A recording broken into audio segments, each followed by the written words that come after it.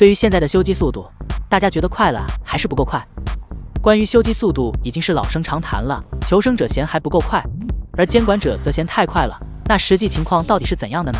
首选我们来先了解下游戏机制：五台电机，四名求生者，一名监管。每局游戏必须修开五台电机后，大门才会通电，而求生者则需要跑三名以上才能赢，反之淘汰三名以上监管才能赢。在这个规则下，其实是公平的。那么再回到游戏，正常的开局基本都是。一人牵制三人修机，在监管和求生者不失误的情况下，第一个人上椅子的时候，基本上就是三台机子。那么此时的情况就变成了一人在以一人营救两人修机，接着继续在双方没有失误的情况下，上椅的人被成功的压满一救和二救。最后在大门通电的时候，会出现两种情况，一种是一人飞天大门通电，另一种则是四人开门战。所以到了这里，大家有没有发现，整个局势如果按照正常的情况发展？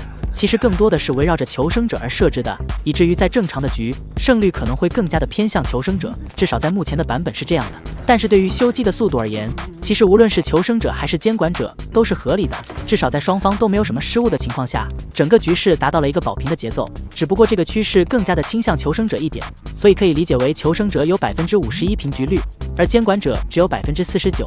那么是不是意味着监管就没有机会了？这里就涉及到一个容错率的问题。而这个所谓的容错率，更多的是针对个人的失误，尤其是求生者的失误。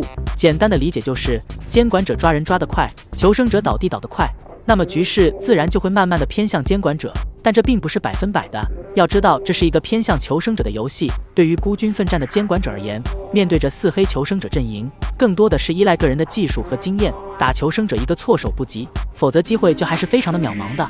所以大家会发现。当你觉得修机太快或者不够快的时候，可以回想一下当时的对局的情况，是不是都是这样的？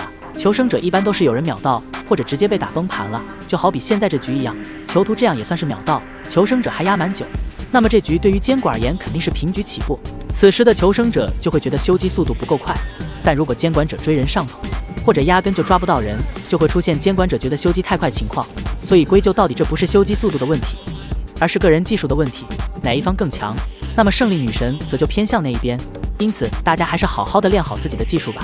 修机速度经过二十几个赛季的迭代，其实已经没什么可以优化的了，你说对吧？